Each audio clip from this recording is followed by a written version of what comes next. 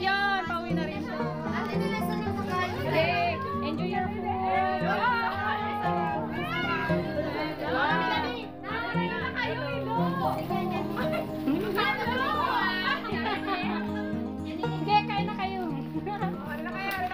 Libre ni